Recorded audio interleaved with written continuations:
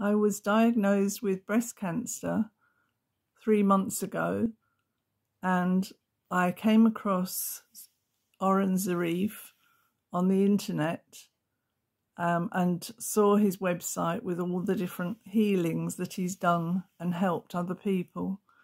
So I contacted him and got him to start sending me healing.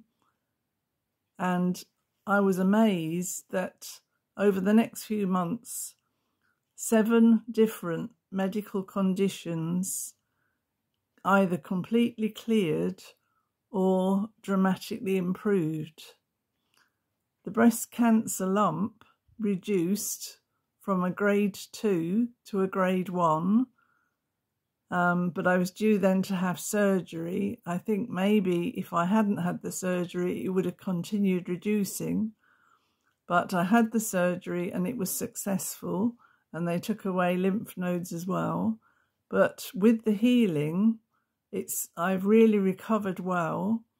Um, but what's amazed me the most is, as well as the lump reducing and healing really well, um, I was able to go out after the surgery for a meal that night with family who could only come that day.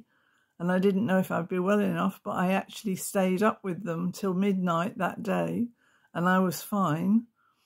But seven conditions just disappearing, gradually one by one being knocked out. I was just couldn't believe it. And I've told people and they can't believe it either. And even my husband, who's a real skeptic, said, I said, What do you think? And he said, Well, it's a miracle. So I can't praise Oren enough. I think he's a marvellous man to do what he does, and I am just so grateful.